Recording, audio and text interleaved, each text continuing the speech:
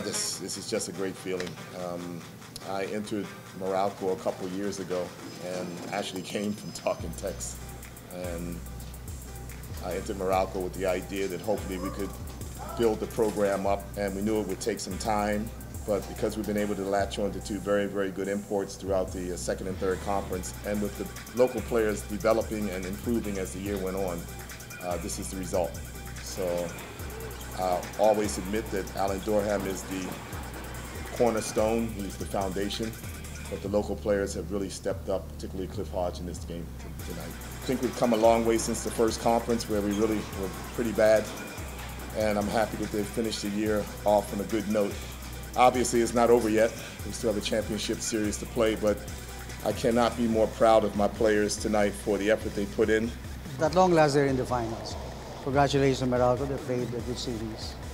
And to have beaten uh, a team like Talk 'N Text for three straight games is quite a feat. You know? So they deserve all the congratulations. And uh, job well done. No, we, uh, they were well coached and the team played with a lot of intensity and commitment and, uh, and energy. So, which I did not see in Talk 'N Text for the last three games. Uh, they wanted to win more.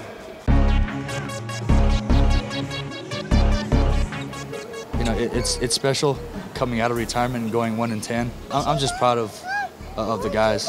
You know, it's not easy to finish dead last and to have this quick of a turnaround to get to the semis, have a chance to get to the finals, and still come back and still keep pushing, still keep fighting, and, and, and to give ourselves a chance. I mean, you know, going into the series, I don't I don't think very many people gave us you know a chance to be Talk 'N Text the way that they've been playing. They, they literally dominated uh, the entire conference, but you know, guys guys just really came together and then everybody you know played their part from guys like Bryan Faundo and you know of course Cliff and New and Becerra. I mean the, the list goes down and, and, that's really what it took. That's it, it took a, a, monster team effort from, from all of us to, to beat a championship team like Talk 'N Text. I definitely feel that our team defense kind of kind of frustrated them. Um, Talk 'N Text as a as a whole. As far as my job on Jason, I feel like uh, I accomplished that by bringing his percentages down a little bit and uh, forcing him to take tougher shots.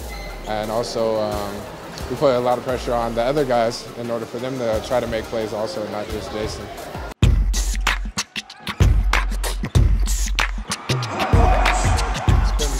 Years, and I know that uh, last conference uh, we had a chance to get there, and I was just super hungry, and I just I knew that with JD down, someone's gonna have to step up, and I just try to step up as much as possible.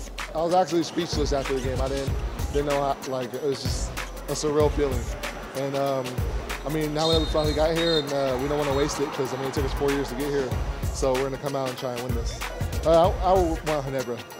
I love playing against the crowd, and I mean when it's a big crowd, everyone's feeding off that adrenaline. Thank you for staying with us through this journey. Uh, the first conference wasn't pretty.